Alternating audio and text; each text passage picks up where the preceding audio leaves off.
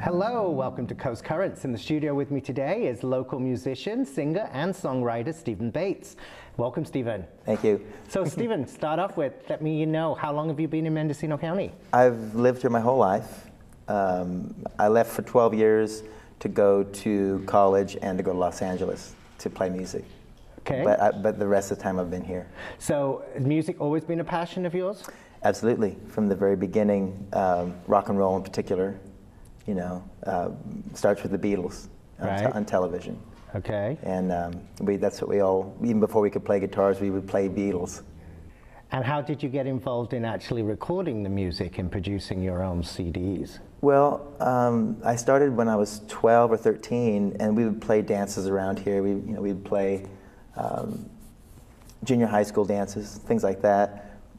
Right. And have you always written? Was from an early age? Did you start experimenting with your Yeah, I, I. I wrote a, I wrote some songs pretty early that were hilariously simple, you know. And I don't think I really, even when I was playing in college, um, I was in a, a three-piece band, and we ended up making a pretty good record. Uh, but at the beginning, you know, it was it was different because the bass player and the drummer, they'd write lyrics, and I'd write music, and I was fine, you know, singing the lyrics that they wrote. And then after I maybe I became 21, 22, it started to dawn on me that I thought, well, I want to I want to sing, you know, lyrics that I wrote. Right. And that's when I really started to do the thing where you say whoever wrote the song sings it, you know, in that way because it's hard to, uh, you know, find the the the uh, realism of it. It was someone else, you know. For me, it is. Right. I, it's easier for me to sing things that I, you know, that I wrote or or believe in or that kind of thing. Right. Which brings us to Hey. your new CD. Ta-da. And I'd like to, to talk to us a little bit, uh, the audience, about this CD. It is Steven Bates, and the title is Play It Pretty for Atlantis. Yes. Would you like to share the title or the meaning behind the title? Well, it's very simple. Uh, I graduated in 1982, and so growing up here, Lynyrd Skynyrd was a band we listened to a lot. And there was a live record they did um, called Fr- One More From the Road, and they're playing Freebird. And at one point, there's a slide guitar on there. It's the, the, the melody of the song. And, uh, and uh, Ronnie Van Zant says, Play it pretty for Atlanta. So when we were in the studio recording this, Uh-huh. Roger Fritz is on this, and he's a fantastic slide player. So all the slide is, uh, is Roger Fritz on this record, and, um, and me, Calvin, and everyone who, were, who was in there recording really enjoyed listening to him do it. So I think it was on the song, um, the love song for those with ears to hear. He's Okay. playing this beautiful slide, and I was listening, and I said, eh, "Play it pretty for Atlanta." And and Calvin, in his very droll way, says, "Play it pretty for Atlantis." And I knew right then that I just thought that was what it had to be called, even though it took me a long time to sort of convince everyone else that I was really going to use it. You know, they were like, "You're not going to really call it that, are you?" And I said, "Of course." And and it made it, it became that piece of art because. Uh, Hugh Dignan, who did the artwork, Right. wanted to, you know, do sort of an Atlantis thing, and uh, you know, uh, semi-apocalyptic. Right. Okay. you know, so that's the story behind the title, and I was, I really enjoyed it. So you're joined by some close friends of yours on this Yes, album. yes. Who, who else is performing with you? Uh, James Preston on the drums, fantastic drummer. Uh, played with Sons of Champlin since 1972. Um, David Hayes, bass player, who played with everybody from uh, Van Morrison to Jesse Colin Young to Tom Waits. Um, Roger Fritz, of course, who's a fantastic luthier, makes great guitars, Fritz Brothers guitars. Um, he and then um, uh, Bill Bottrell is on two songs, playing uh, acoustic 12 string and on one and um, electric guitar on the other. Gene Parsons on the pedal steel, which is really beautiful what he does, and Ralph Humphrey on drums uh, for one song in there too. Who's a fabulous drummer. so how would you sum up this album in style? What would you say the influence would be? We wanted to make, or I wanted to make a good rock and roll record. Um, and as we kept making it, uh, you know, every time there'd be a chance in the studio, you could say, "Oh, where's the Farfisa? Where's the, the bell or whatever it is, you know, put all these, you know, the glockenspiel or whatever on there. Right. We just didn't do it. And so to me, it's just a really good rock, rock and roll record where every other instrument besides the drums are, um, is a stringed instrument. What I noticed is it's, it's very much like a road trip kind Yeah. of CD you put Yeah. on and you take the trip because a lot of the tracks, you know, they do tell a complete story. They're not your usual like three minute cuts. Some Right. of them go on for, you know, several minutes. and Yes. They take you on a journey. Yes. Can you illustrate a little bit? Yes, see you brought your guitar with Yes. you. Is there, is, there, is there a particular lyric or a particular riff or something that kind of illustrates those points? Well, here's one. Uh, there's a song called um, Gone But Not For Long, and we were doing it in the studio. Uh, it was uh, Ralph Humphrey came in for, on drums, David Hayes, um, Gene Parsons was doing the um, pedal steel, and Bill Bottrell was on the uh, 12 string, and I was, I was playing mandolin. Well, we recorded the song, uh, and of course, Ralph, being great as he is, he started, you know, playing some other things and put a, a, um, a certain break in there that I had to try to learn. And then we played it, and um, I repeated the verse as, as the song was being recorded. I repeated the, the one verse twi- uh, two times, and they all said, "Oh yeah, well, you know, you got to um, write another verse."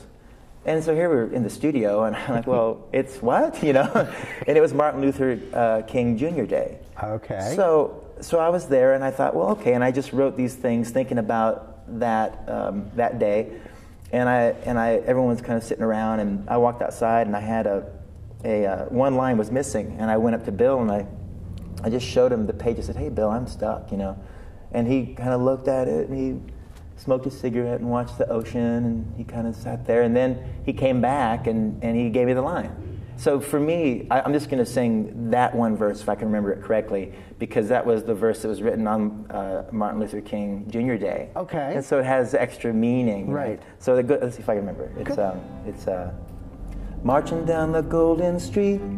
The milk may have turned, but it's just as sweet. Every single color walking hand in hand, facing down the dealers all across the land. Our Lady sings a high and a lonesome tune.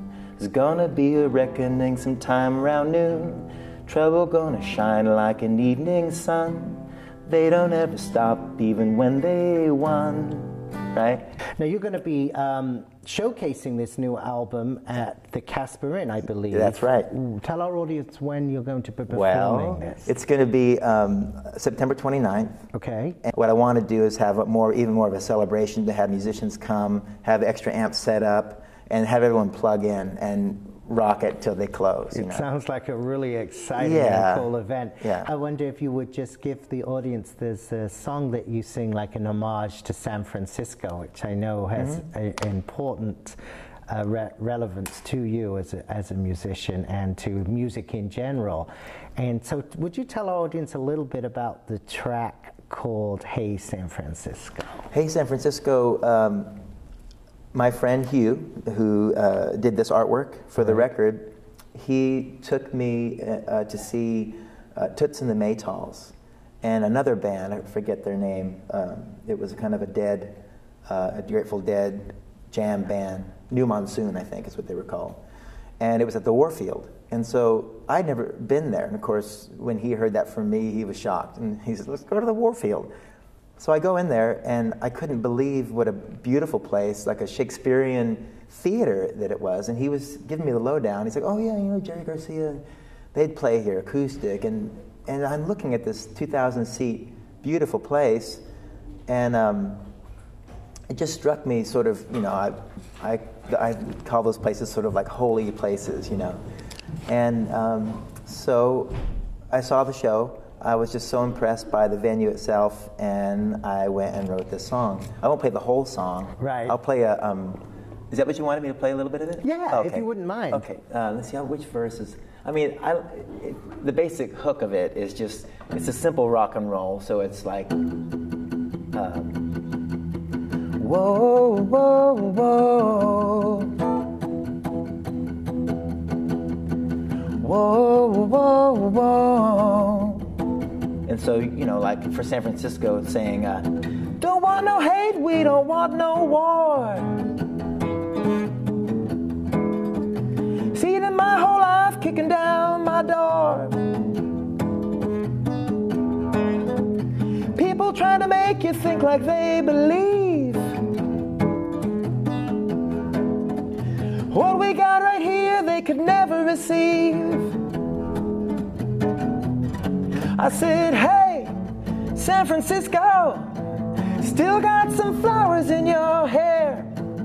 Up there playing electric guitar for all the hungry people out there. Right? Great. So that's what that song was, you know, about. Well, and it's great. And audience, I highly recommend that if you're not familiar with Steven's music, this is a wonderful way to discover him and his uh, extraordinary talent. And I hope that you will try to get to the Caspar Inn on September the 29th and enjoy the show. And thank you for watching us, and we look forward to seeing you again on Coast Currents in the future.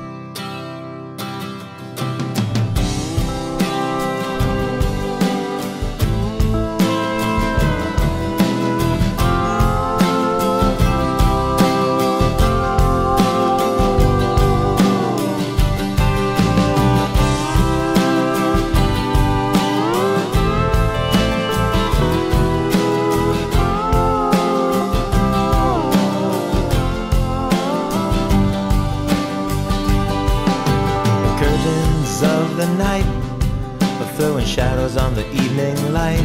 The sun is going down one more time, my friend. All that needs an ending begins to end. You can watch him gather on a frozen beach. The tallest by his shoulder begins to preach, but no one really hears a word he said. Started out living, but now it's dead.